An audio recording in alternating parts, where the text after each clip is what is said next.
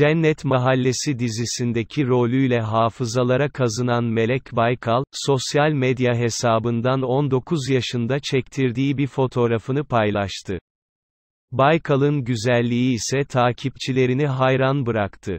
Haberimizin detaylarına geçmeden önce bir saniye videomuzu beğenip kanala abone olursanız beni çok mutlu edersiniz. 2004 ila 2007 yılları arasında yayınlanan Cennet Mahallesi dizisindeki pembe rolüyle hafızalara kazınan usta oyuncu Melek Baykal, sosyal medya hesabından yaptığı paylaşımlarla adından söz ettiriyor.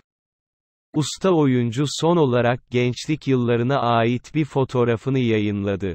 Hayranlarını nostaljik bir yolculuğa çıkaran 67 yaşındaki oyuncu, 593 bin takipçisinin bulunduğu Instagram hesabından 19 yaşında çektirdiği bir fotoğrafı paylaştı.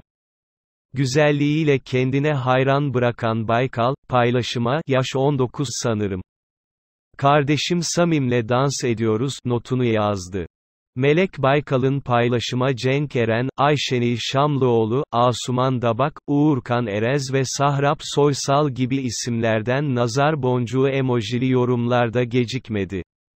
Şimdilik videomuzun burada sonuna geldik. Gündeme dair gelişmelerden anında haberdar olmak istiyorsanız aşağıdan kanalıma abone olup bildirimleri açabilirsiniz renkli sayfalar.